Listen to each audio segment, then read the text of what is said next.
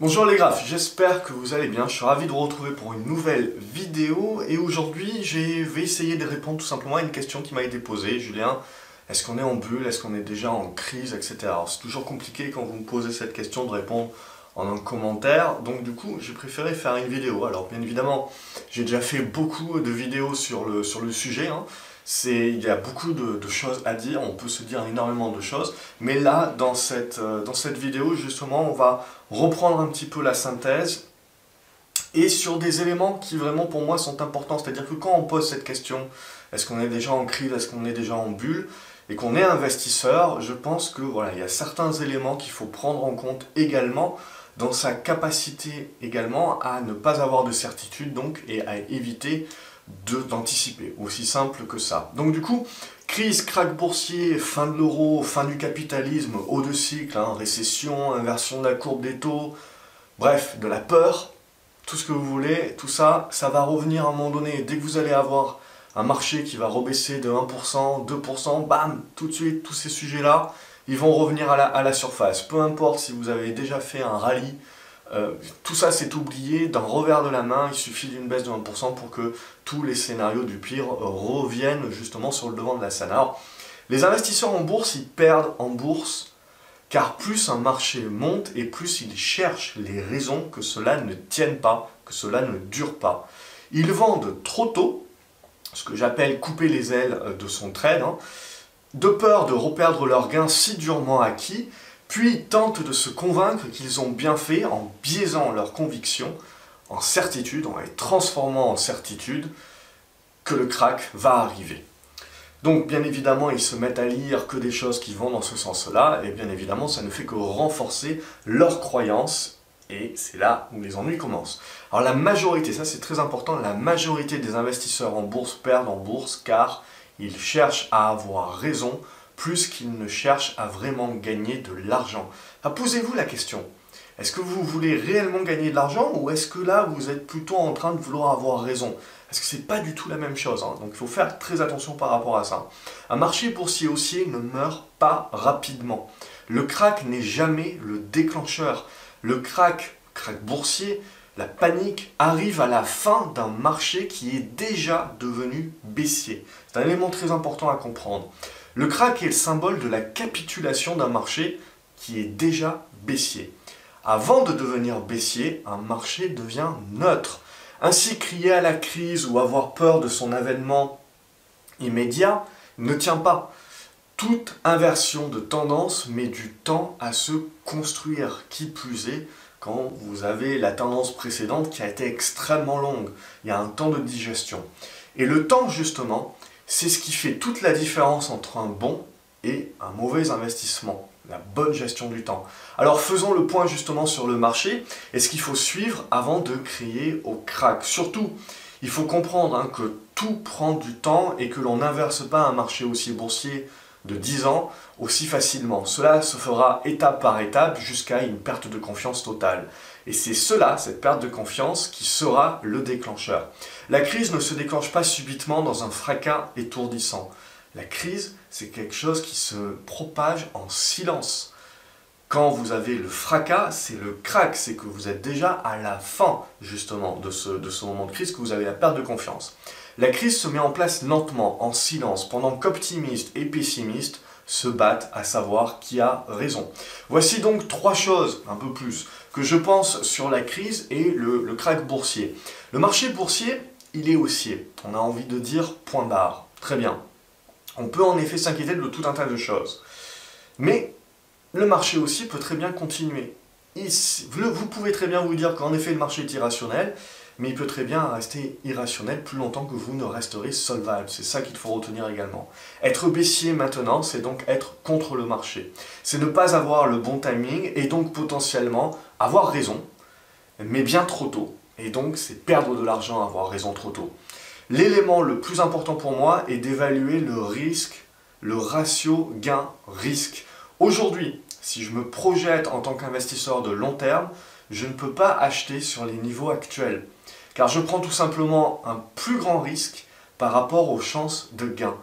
Je parle bien évidemment là de probabilité. Aujourd'hui, c'est l'élément qui me fait penser qu'un investisseur à long terme va devoir être beaucoup plus actif ces prochaines années qu'il ne l'a été sur, euh, sur cette dernière décennie et être beaucoup plus sélectif s'il veut réellement gagner. Et battre le marché, bien évidemment, pas tout le monde cherche à battre le marché. Car le marché, après avoir retourné pendant 10 ans des rendements importants, et quasiment rectilignes, hein, connaîtra statistiquement une décennie de vaches maigres, donc de rendements moindres. Ainsi, avoir une gestion passive via tracker sera certainement suivra le marché, mais sera contre-performante par rapport à, je pense, une gestion beaucoup plus agressive, une gestion beaucoup plus active et une gestion beaucoup plus sélective. Alors il faudra être plus sélectif et donc actif pour tirer son épingle du jeu. C'est mon opinion personnelle. Alors dire que le risque de perte est maintenant plus important que le potentiel de gain, c'est raisonner en termes de risque plus qu'en termes de gain, bien entendu. Si autant d'investisseurs perdent en bourse, c'est parce qu'au contraire, ils raisonnent beaucoup plus en termes de gain qu'en termes de perte. C'est-à-dire que quand ils achètent quelque chose, ils pensent à ce que potentiellement ils vont gagner. Ils pensent jamais à ce que potentiellement ils vont perdre. Et c'est là où les ennuis commencent justement. Il faut être très défensif. Il faut d'abord penser à ce que potentiellement on peut perdre. Et comme ça, on devient un bien meilleur investisseur. Hein. Donc, car même hein, en cas de crise, il y a toujours quelque part un marché en essor, une tendance haussière sur un actif quel qu'il soit. Donc c'est pour ça que je pars du principe que l'investisseur gagnant sera l'investisseur qui sait être actif et sélectif. Au de cycle, moins d'innovation, chômage, moins de rentabilité de nouveaux projets, tout un tas de statistiques économiques nous démontrent qu'il sera de plus en plus dur de croître demain plus que ce l'était euh, hier. Donc les statistiques économiques se détériorent, le marché immobilier se dégrade alors que les taux sont bas et qu'ils euh, représentent, surtout en France, une énorme partie de l'économie et du PIB. Moins de fret, moins de ventes de camions aussi, moins de ventes également de conteneurs, donc moins d'échanges commerciaux. Bref, tout un tas d'indicateurs qui, en gros, nous annoncent la fin. Mais qu'est-ce que la fin? Ça, c'est vraiment la question. Qu'est-ce que réellement la fin? La majorité des intervenants en bourse aujourd'hui n'étaient pas là il y a 10 ans. Ils n'ont pas connu une vraie crise. Leur référentiel, c'est une hausse ininterrompue et seulement interrompu, on va dire, de quelques corrections de 10-20%, et très souvent très rapide, c'est-à-dire qu'on n'a pas le temps d'avoir peur que déjà c'est remonté. D'autres, moins nombreux, étaient déjà là en 2008, et donc ils ont connu les subprimes, ou encore la bulle Internet, et connaissent donc des crises qui, elles, sont des crises qui durent 2 ans, 3 ans, qui mettent du temps à se mettre en place, qui découlent sur un crack boursier et sur une panique, et des marchés à moins 50%. Ainsi, l'essentiel des intervenants aujourd'hui sont biaisés et associent récession à crise et crise à une baisse de plus de 50% des marchés et un crack boursier avec un chaos inimaginable. Ils estiment donc que, comme la crise des subprimes fut pire que celle d'Internet, alors la prochaine sera bien plus pire. Ils se basent évidemment sur le fait que ça ne peut être que plus pire, puisque eh ben, les dettes continuent de s'amonceler, on est plus de dettes encore, plus de déficit, et donc forcément, le retour de bâton n'en sera que plus important. Alors c'est un biais psychologique que de renforcer ce que l'on pense qu'il adviendra lors de la prochaine crise par rapport à des événements récents. Car oui, se baser sur des crises des 20 dernières années, c'est biaiser sa pensée de l'avenir uniquement sur la base d'événements qui sont très récents, car 20 ans, 20 euh, ans d'historique, c'est rien. Historiquement et statistiquement, une récession ne devient pas forcément une crise. Il faut euh, essayer de s'enlever ça de l'idée. Je lis partout, récession, crise, crise, crise. Pas forcément. Une crise ne devient pas forcément une crise systémique. Et une crise systémique n'amène pas forcément un crack boursier. L'économie est faite aussi majoritairement de récessions mineures de crises contenues à un secteur en particulier et de baisses de marché qui sont limitées dans le temps. Alors la prochaine crise n'a pas plus de raison d'être plus puissante que la dernière, que euh, celle des subprimes, et encore moins de l'être moins, on n'en sait rien. On ne peut pas se projeter en disant que nécessairement ça sera encore pire.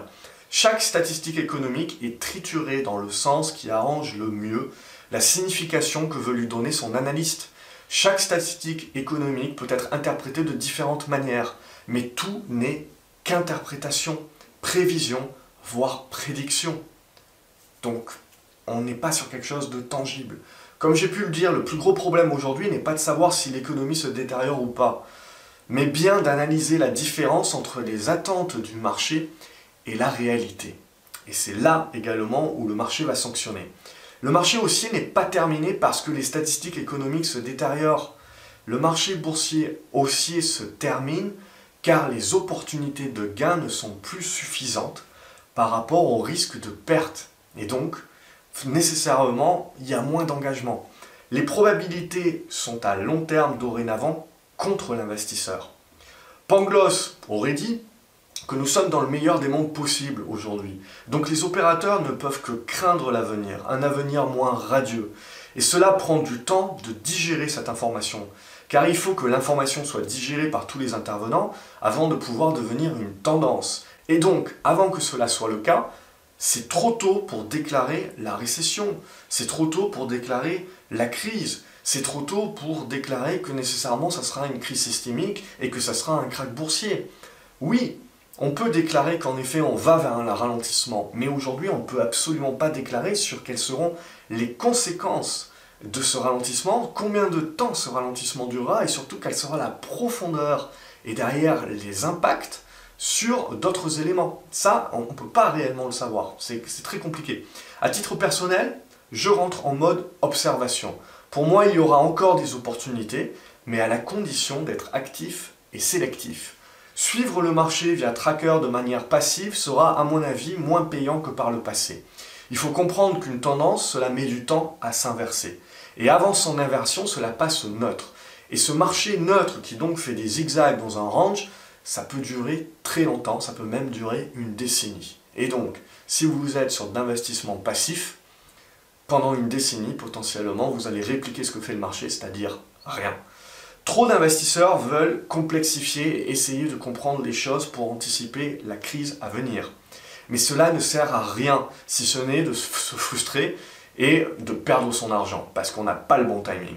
Trop d'investisseurs perdent de l'argent en bourse car ils veulent surtout avoir raison et recherchent plus la reconnaissance d'autrui dans leurs prévisions que finalement de gagner réellement en bourse. Et ce qu'on voit, la majorité des gourous hein, qui vous annoncent à chaque fois à la fin, ils investissent pas, hein, parce que sinon ils seraient déjà réunis depuis très longtemps, parce que ça fait 10 ans qu'ils disent la même chose. Donc, ceci les mènera tôt ou tard à leur perte. Ce n'est pas pour rien que le gourou qui a prévu la dernière crise n'arrive pas par la suite à en prédire la prochaine avec exactitude. À force de multiplier les prévisions, bien entendu, ils finissent toujours par tomber plus ou moins juste, et après, avec la com, à tenter de retomber sur leurs pattes. Mais combien d'investisseurs sont ruinés et se seront ruinés à les avoir suivis avec le mauvais timing C'est ça réellement la question qu'il faut se poser.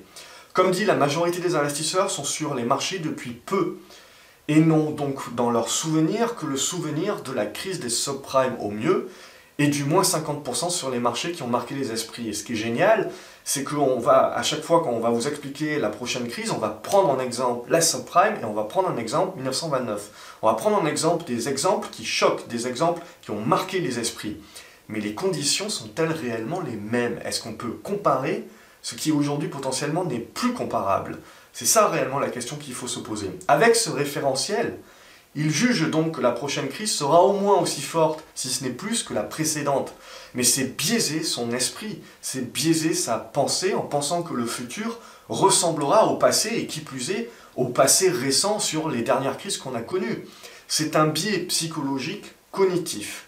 L'investisseur gagnant en bourse est celui qui sait rester objectif, réaliste, qui sait prendre en compte que la prochaine crise sera peut-être pire que les autres, mais qui sait aussi que la prochaine crise, la prochaine récession, ne sera potentiellement pas du tout une crise systémique, et peut-être même pas une crise du tout, et que donc elle débouchera pas sur un crack boursier, mais potentiellement sur un marché euh, baissier éventuellement, mais sur une, sur une, sur une période assez longue qui fera qu'on lissera la baisse au final, et pas des gros mouvements.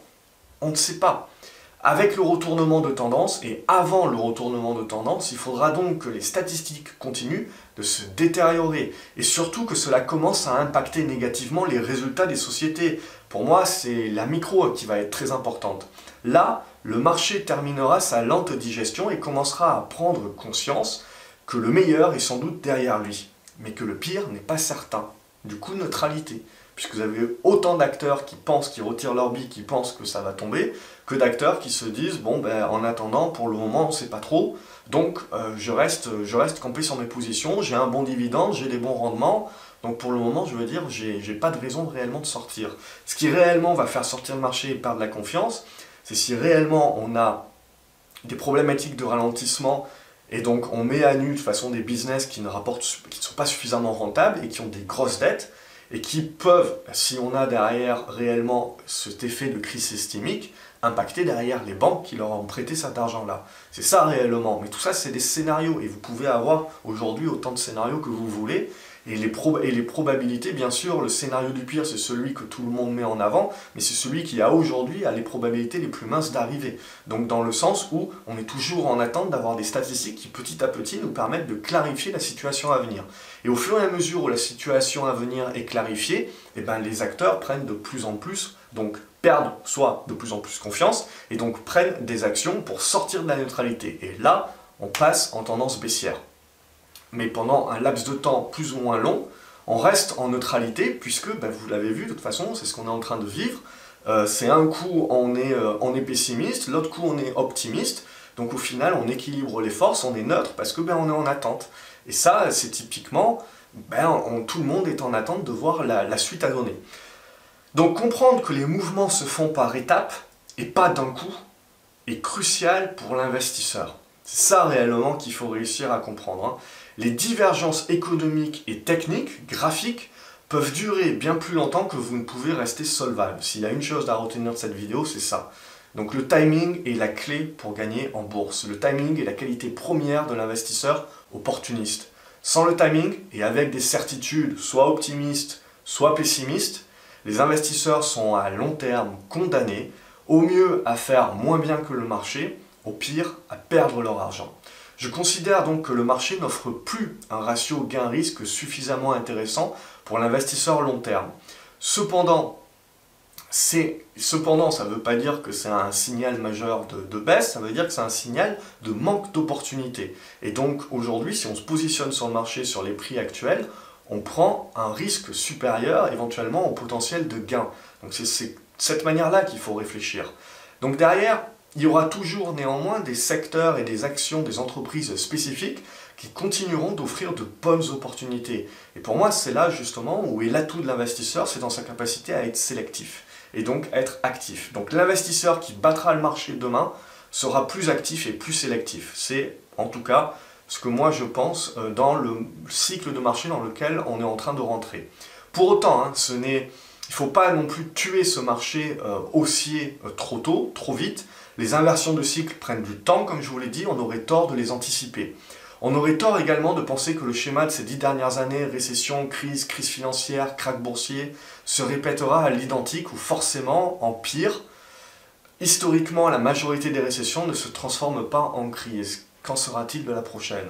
Vous l'avez compris, pour tirer votre épingle du jeu, il faut surtout ne pas avoir de certitude et rester opportuniste. Cela vous rend plus agile dans vos décisions et capacité de changer d'avis et d'éviter de rester borné. Et c'est cela qui permet à un investisseur de véritablement profiter de toutes les conditions de marché, même des crises, et donc de ne pas avoir peur et de redouter leur avènement. Plus d'argent, et je vais finir et je vais conclure par ça, plus d'argent a été perdu en bourse en anticipant les cracks boursiers, plutôt que dans les cracks boursiers eux-mêmes. Ça c'est de Peter Lynch. Tout simplement, qu'est-ce qu'il nous dit Peter Lynch C'est que tant que ça ne n'est pas retourné, il n'y a pas de raison de vendre. Et donc, à chaque fois, on biaise son esprit, on biaise sa psychologie et donc ses décisions et donc sa performance.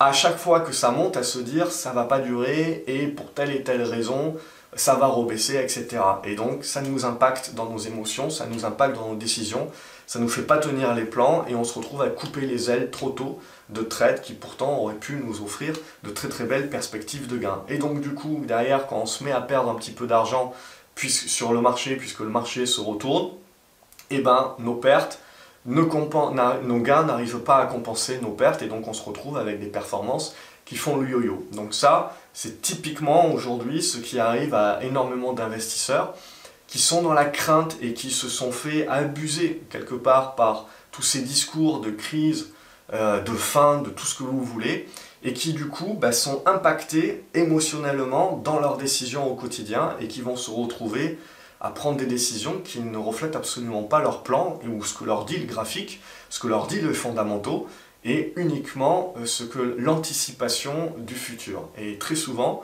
on voit des personnes qui sont euh, long terme et qui vont euh, prendre des décisions sur la base uniquement d'événements court terme. Et donc là, bah, c'est le moment où justement on commence le bruit de marché commence à totalement vous biaiser. Et ça, Clairement, hein, c'est un élément qui est euh, pour moi grave puisque c'est l'élément majeur aujourd'hui qui empêche beaucoup d'investisseurs de réellement gagner en bourse. Voilà. N'hésitez pas à me dire ce que vous en avez pensé, vous, euh, dans les commentaires. Hein, je me ferai une joie de les lire et de vous y répondre et puis on peut discuter et débattre un petit peu plus. Également, c'est fait pour ça, c'est fait pour un petit peu amener de, la réflexion. Voilà, je vous souhaite une excellente journée, je vous dis à la prochaine vidéo. N'oubliez pas de vous abonner et je vous retrouve dans les commentaires. Salut les graphes, bonne journée